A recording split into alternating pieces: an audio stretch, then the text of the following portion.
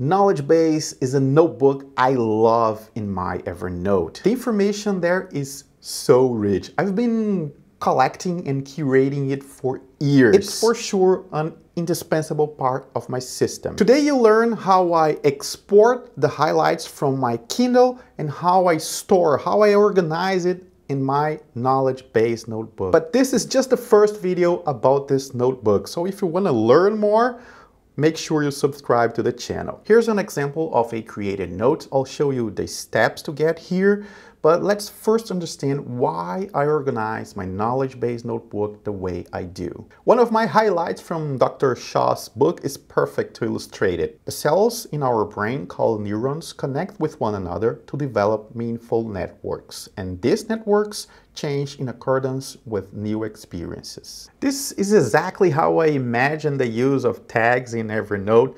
They help me create this network of knowledge with information that I already have in Evernote and information that I'll collect in the future. Get your Kindle, open a book, and go to the notes of this book. Now pay attention because this is really, really hard.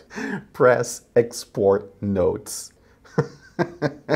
you receive two files in your email associated to the Amazon account. One of them is a CSV file that you can open with any spreadsheet software and the other one is a PDF. Back to Evernote, I'll create a note with the name of the book. Then I'll use Google to look for a cover image and I'll resize it based on a width of 300 pixels. There's nothing special with this number, I just like the size. From this point on, we have two options.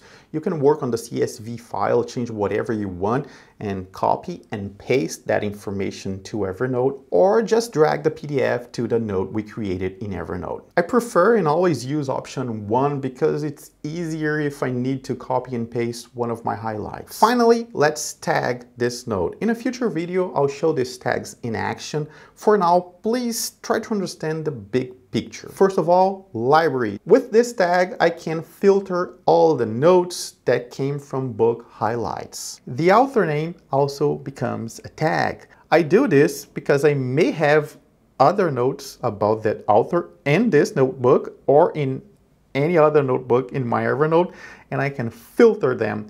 I can see everything I have about that author. Finally, there's what I call neuron tags. Let's take a look at another of my highlights from Dr. Shaw's book to understand it. Since the sole purpose of a neuron is to make connections and form brain, isolated neurons immediately begin to search for other neurons to network with. Here are some examples for this note in particular. Memory, false memories, cognitive psychology, and some others. But I think you got the idea. Like I said before, I love my knowledge notebook and you can expect a lot of future videos about it. So if you want to learn more about my system, subscribe.